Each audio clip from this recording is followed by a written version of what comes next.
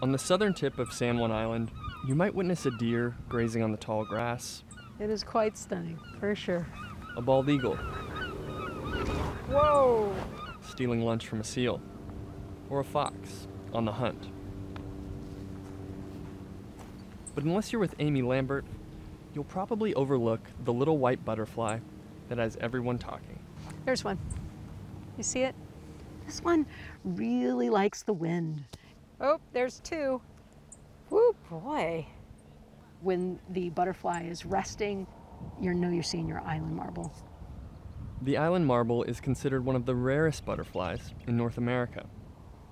It only exists here, in the upper reaches of Washington state's Puget Sound, inside a small section of a very small national park. The island marble was thought to be extinct until it was rediscovered here in the late 90s. This is a butterfly that came up from nowhere. It's, it's curious, it's mysterious. So Lambert became one of the first scientists to study it, documenting its flight patterns, where it lays eggs, what kind of food it needs to survive.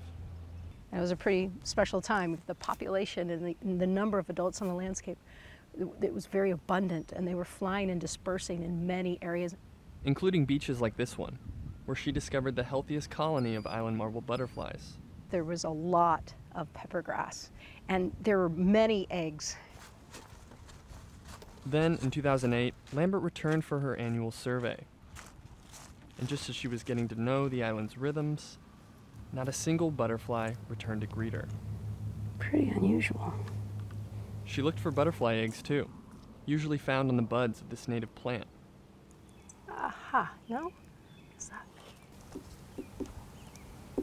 But her search came up empty. I don't see anything. I'm disappointed. The numbers completely blinked out. She noticed that sand and gravel were blanketing the plants. It was a telltale sign that surging tides had rushed over the lagoon the previous winter, the kind of coastal flood that's expected to become more common over the next century. With so few strongholds left, any loss of habitat brings them one step closer to extinction.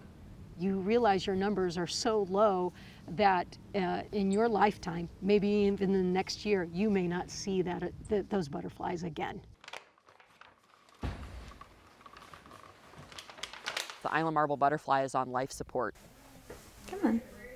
Park researchers are helping the butterflies by raising them during their most vulnerable life stages. The park has been engaged in trying to be really supportive and help bring back the stability of the island marble butterfly population. It's a matter of the staff and the researchers collecting the eggs, bringing them back into the rearing lab, and ensuring that as the caterpillars progress in their life cycle, they have the nutrients that they need It's just kind of tracking like so, like what stage they're in and what, what location on the plant they are, um, the status and anything notable about if they've fallen off or having any trouble. There's a lot of tending to their needs. Eventually, the caterpillars wrap themselves in a cocoon, spend 11 months in a temperature controlled closet, and reemerge as butterflies the following spring. We are helping release them into the habitat that we're really hopeful is the kind of habitat that they need. There's a butterfly right there. You see? Oh, there it is. It's coming back around. Lambert is hoping to entice the butterflies to move to higher ground There's one here too. Wait, what? Yeah, look. by planting flowering grasses like these in the park's upland prairies and watching over the butterfly eggs. I track each one of those eggs as it moves through its uh, caterpillar stages to see if it, what the survival rate is, and in fact, if it's working or not. It's one thing to, to put all these adults out on the landscape, but you have to measure are, are they surviving? It's not moving much, is it? Uh, chances of survival are pretty low. When they're this small, they usually uh, can only feed on the flowers or the buds. So it was stranded and it likely starved. The timing is tricky. The plants must begin to bloom just as the butterflies are released. In conservation, when you're the one that's, you know, changing the temperature gauge in a captive rearing room, or you're the one that's putting seeds of these plants on the landscape, you realize how difficult it is. And questions remain about whether this upland habitat is enough. The island marble seems to like this prairie, but so do other creatures. Park Superintendent Elexis Fredy worries the prairie is getting crowded. So it's this never ending cycle with the rabbits, and they continue to expand. There's no way to keep the deer out of the park. You can't fence off the whole prairie for a single species. You know, everybody needs a piece of this place. So you're constantly having to decide which way, you know, to shift the balance of favor. Conservationists will continue to wrestle with that question, deciding whether a butterfly that has existed here for centuries has a place in its future.